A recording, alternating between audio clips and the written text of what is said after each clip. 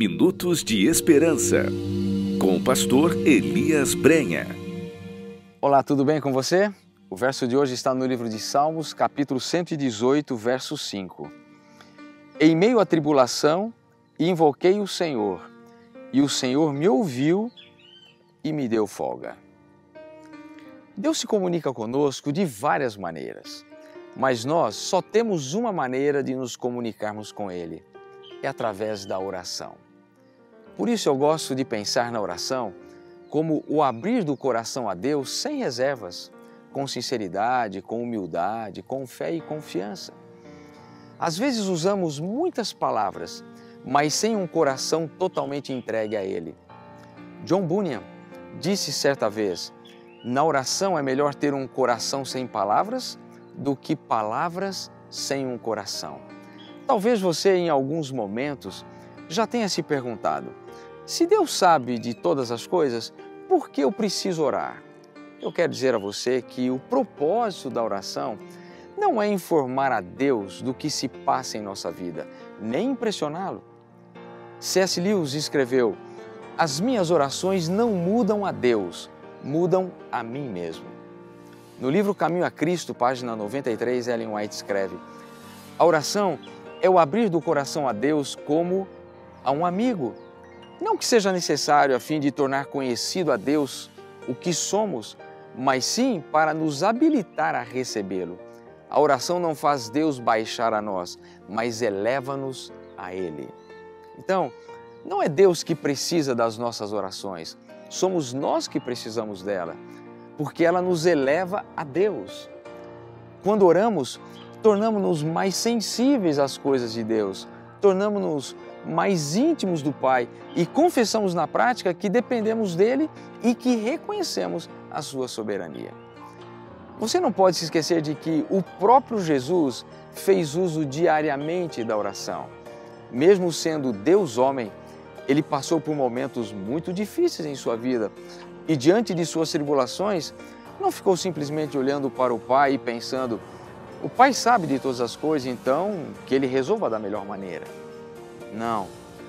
Todos os dias, diz a Bíblia, nas madrugadas, às vezes noites inteiras, ele dedicava-se à oração e à comunhão com o seu Pai.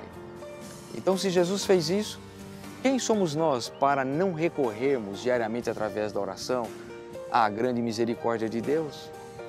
O apóstolo Paulo também nos aconselha a prática da oração. Em sua carta aos Filipenses, no capítulo 4, verso 6, ele escreve: Não andeis ansiosos de coisa alguma, em tudo, porém, sejam conhecidas diante de Deus as vossas petições pela oração, pela súplica, com ações de graças.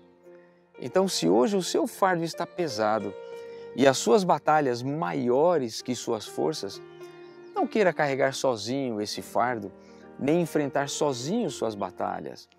Ore ao Senhor, confie nele, faça a sua parte e o mais, com certeza, Deus fará. Se esse é o seu desejo, feche os seus olhos e ore comigo. Querido Deus, querido Pai, obrigado porque temos na oração uma ferramenta poderosa para nos aproximarmos do Senhor para colocarmos diante do Senhor as nossas necessidades, as nossas carências, para colocarmos diante do Senhor todas as nossas batalhas e tudo aquilo que precisamos para a nossa vida, seja nesse dia ou em qualquer momento da nossa existência. Pai querido, acima de tudo queremos te agradecer porque o Senhor nos ouve quando clamamos com sinceridade. O Senhor nos ouve quando clamamos com fé e com confiança. Então, querido Deus, depomos diante do Senhor nesta hora todas as nossas necessidades. E o fazemos com a certeza de que o Senhor está atento. E o fazemos com a certeza de que, no momento certo, o Senhor nos responderá. Mas, sobretudo, Pai, o fazemos na certeza de que o Senhor trará a paz que precisamos ao nosso coração. Mesmo que ainda continuemos enfrentando as nossas lutas, o Senhor nos dará paz, nos dará confiança nos dará certeza de que não estamos sozinhos em nossa caminhada. Então, Senhor, com essa certeza nos entregamos confiadamente ao Senhor e o fazemos em nome de Jesus. Amém. Que maravilhoso podermos saber que o Senhor está atento às nossas orações. Então, se você não tem feito da oração uma prática diária, faça, coloque isso na sua agenda diária. Ore, fale com Deus e deixe Deus conduzir a sua vida hoje e todos os dias da sua vida. Se você foi abençoado com esse vídeo, não esqueça, compartilhe com seus amigos, é, mande essa mensagem para quantas pessoas você puder, abençoe outras vidas e também não se esqueça, nós estamos aqui orando por você todos os dias. Você pode deixar abaixo aí os seus pedidos, os seus agradecimentos e vamos juntos nessa corrente de fé. Que Deus te abençoe, que Deus te dê um dia de grandes vitórias e nos encontraremos com a bênção de Deus em nosso próximo Minutos de Esperança. Compartilhe este vídeo nas suas redes sociais. Compartilhe esperança.